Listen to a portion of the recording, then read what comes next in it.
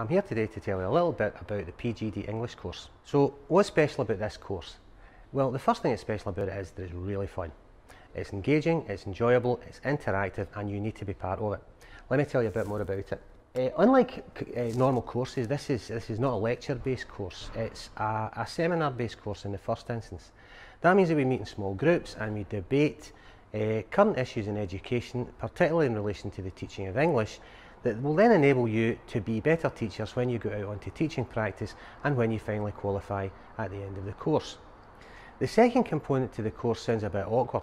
It's a hybrid course and what that means is part of it's face-to-face -face and part of it's online. Now, what do you do online that's so special?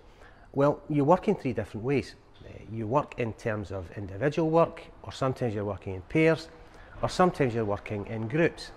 Again, to address some of these issues that we've identified in the face-to-face -face sessions as being problematic.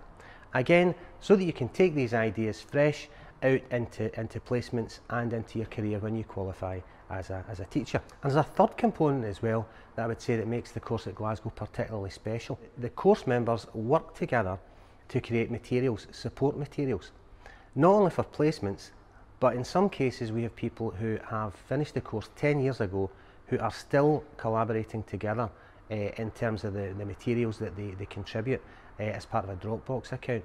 Now that's an amazing feature and it's still running 10 years after the course. So what qualifications do you actually need uh, to become part of this wonderful course? In the first instance, it's not as complicated as you think. You do need a degree. That won't surprise you. You need a degree of which 80 credits are in English. 40 credits of those have to be in either English literature uh, or, or Scottish literature. So in other words, look into this. It's a lot simpler than you might think uh, to become part of, part of this course. Why is it a great course? Well, it's a great course because I teach it.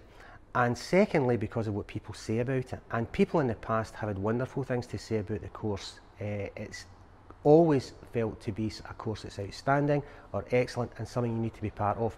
So drop us a line and let's hear from you.